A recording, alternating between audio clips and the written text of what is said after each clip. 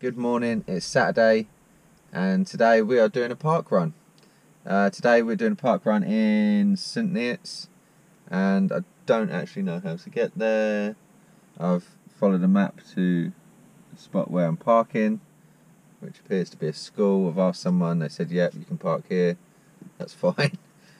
But I now need to find my way to where the race starts because there's loads of fences around and it's not in the school, I know that much. So I'm hoping I can find. Uh, I've just seen someone in a hundred t-shirt. I'm going to run off and I'm going to follow them. So see you in a minute. For you, Mark. Set. Go!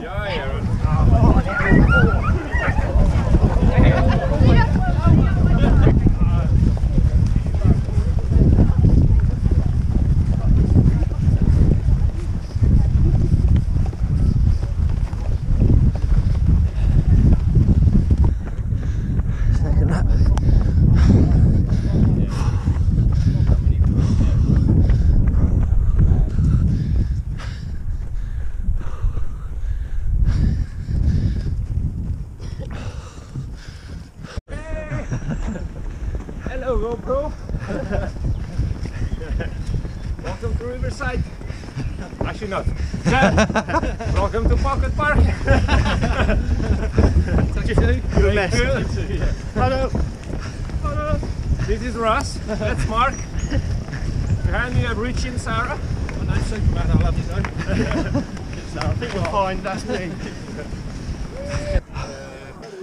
Which one do you want? That one? I need your personal one, which is this one, please. And then, then I need your position. Oh, yeah. Then I need, can you put that into there, please? Lovely, thank you very much. Well done. That is the second park run done. Pocket park run in St Neots. 27 minutes, 19 seconds, which is, I think, a full minute slower than the first one I did. But considering I haven't been as consistent in this last month, I'll take that as a win. I didn't actually come out for any sort of PB today, and that course is definitely not a PB course.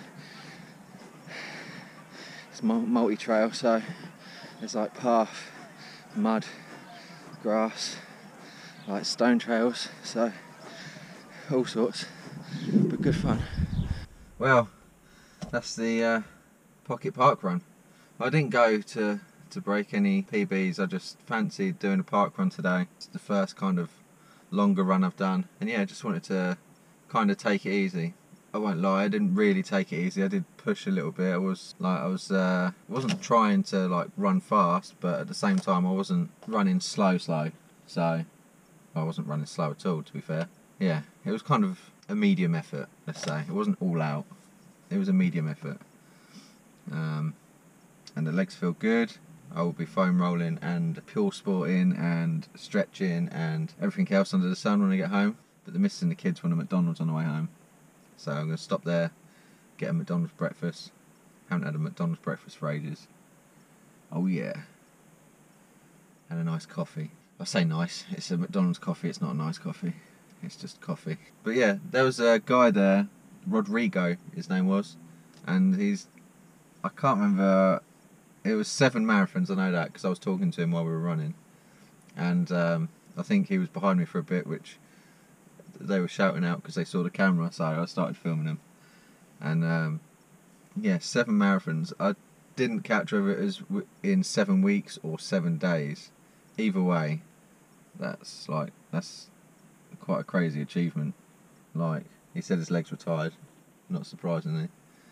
Um, and he's doing it for motor neurons disease charity. So good on you, Rodrigo. Um, well done. His last one is tomorrow, um, up in Leeds, the Leeds Marathon. So good luck. You're probably not going to see this video, but um, if you do, by some chance, see this video, well done, and congratulations on the, all the money that you've raised for motor neurons disease. A lovely bunch of people. Again, the second park run I've done. Everyone's really friendly. It really doesn't matter who you are, what your ability level is. People just go there for a social, really. It's just people who run who like to, to chat and meet new people. It's uh, it's a good laugh. I really enjoy it. I think that's it from me. I'm going to go and get the missus and the kids some McDonald's before before McDonald's breakfast closes. So I will see you on the next one.